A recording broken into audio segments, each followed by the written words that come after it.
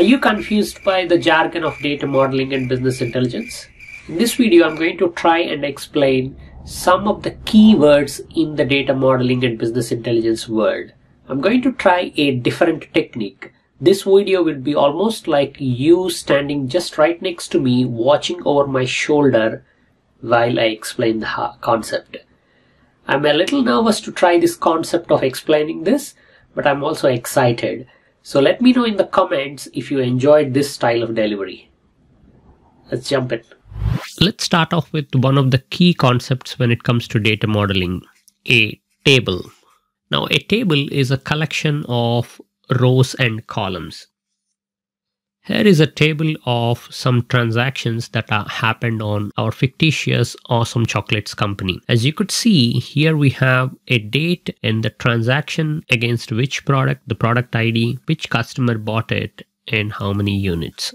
So this is a table. Now, these kind of tables where you record things or as they happened are usually referred to as fact tables because they contain the facts. But if I want to know, for example, what is the specific product that particular customer bought or who is this customer, what is their gender, then we are not able to answer those questions from this type of a table. You need a supporting table to provide that information. So here is a dimension table that tells me the information about the product. So here I can see that product PX23A11 is a milk bar belonging to the bars category and it cost $5.26. So this is a dimension table because this tells you the information from the product dimension. So here is my fact table, here is my dimension table, and here is my customer story, which tells you who is the customer, what is their name, how old they are, and what is their gender. And this goes on like that.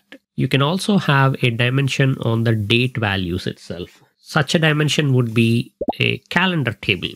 So a table is a collection of some rows and columns. You can have a couple of different kinds of tables. You can have a fact table. You can have a dimension table. Now, when it comes to dimension tables, there is a special type of a table called calendar table that shows and talks about time. So in the data modeling or business intelligence world, you keep hearing these words fact, dimension, and calendar. Fact is where usually most of your numbers are stored and dimensions explain the story from different dimensions.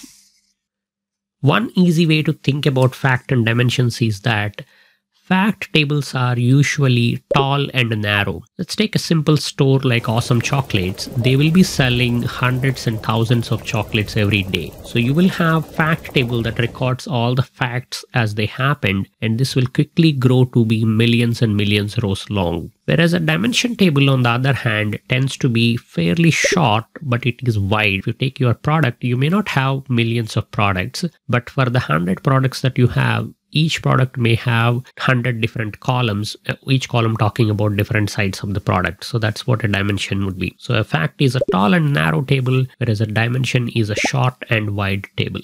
Now that we understand what tables are, let's understand how tables can be related to each other.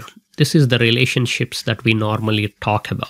So for example, here is my fact table that tells you the transactions and here is my product table.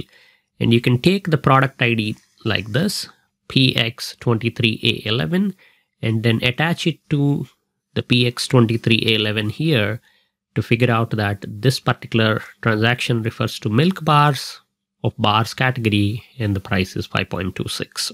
In this situation, because this particular product can be purchased many times by different customers, the transact the product ID px23a11 can appear multiple times in the data set but it will only appear once in the dimension table. Because of this nature, this relationship is many to one. Many times here, one time there. Just as you have many to one, you can also have relationships that will be one to one, one to many, and many to many. Whenever there is a relationship, the relationship would be based on a column, and this kind of relationship columns are loosely referred to as keys, not to be confused with the keys that you open your doors or the ones that you use on your pianos. Whenever there is a key concept, the keys can be divided into foreign key and primary key.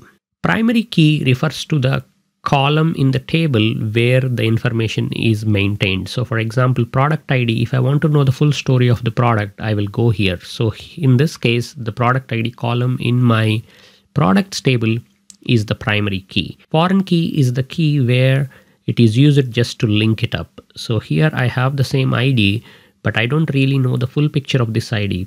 So this is my foreign ID here, foreign key. And usually when you are making a relationship, you will attach the foreign key to the primary key. Now let's talk about modeling. Oh wait, not that kind. When you have multiple fact and dimension tables, you can connect them and hence you will end up creating a model.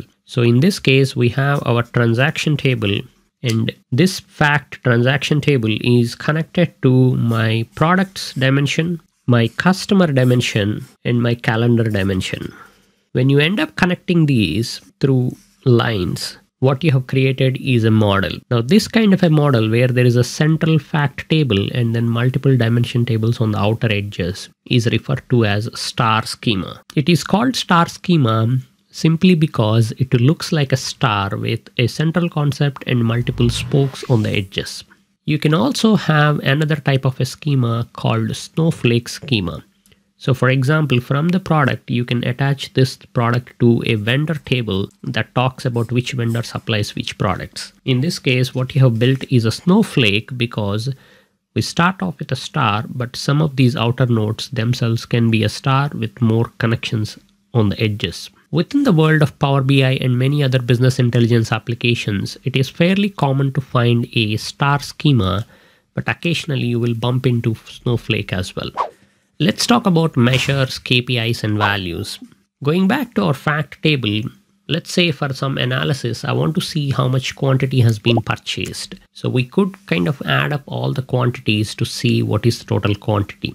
But if I want to see this quantity broken down by individual categories or gender groups or by day of week, we need to create a special calculation whose definition would be sum of quantity column. And then we need to refer to that definition every time we calculate that total quantity against a specific category or a specific gender group. This definition of what you want to calculate is referred to as a measure. Alternatively, we also call this as aggregation or value. You can relate to the word value from the pivot tables that you may have created in Excel. So all of these are interchangeable words, but within the world of business intelligence, normally this is referred to as measure.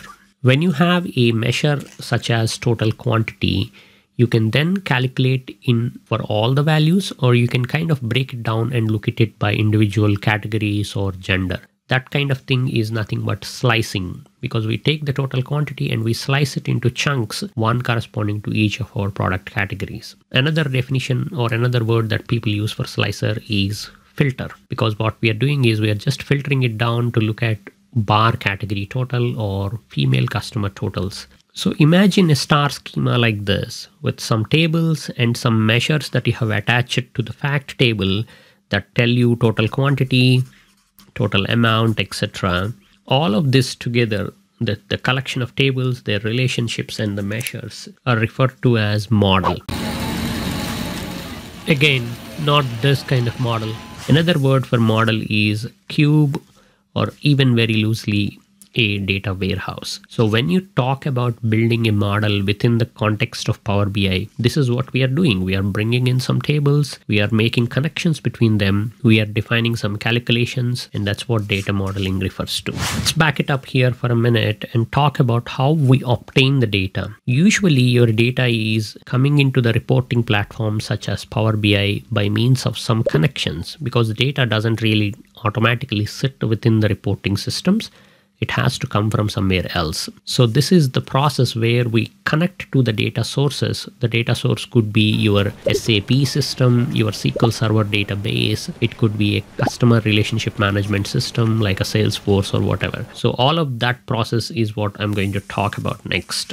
So here is my transaction table. And in order to get this, we need to connect to our sales system and then bring the data over. This process is usually referred to as querying because I'm asking the system to provide me with a snapshot of the data. Within the context of Power BI and Excel, This is also referred to as Power Query. But let's say your system that provides you with this data doesn't really give you the data in this format. It gives you in certain other format then occasionally you may have to transform it, change the shape or size of the data or the nature of the data. Such transformations can be done directly in the source system and bring the data over or they can be done as part of the process wherein you're fetching the data. This is where Power Query offers you some solutions as well. Because we may need to transform data sets from multiple systems and then bring it all over for our reporting solutions, normally we engage in a process called ETL. ETL refers to extract, transform, load. Extract is where you go and do different source systems, collect the data. Transform is where you change the shape or size or nature of the data. And load refers to loading the final output data into your reporting platform, such as Power BI.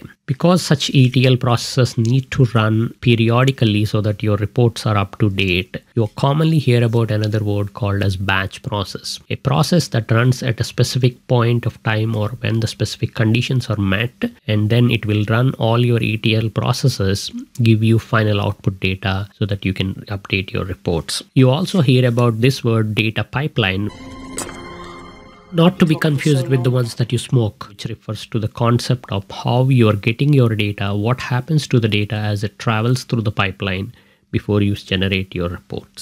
Another common set of words that we hear within the context of data modeling is source and refresh. Source refers to the place where your data is originally maintained, and refresh refers to the process wherein we ask our reports to be updated based on the latest data. Did you enjoy that video?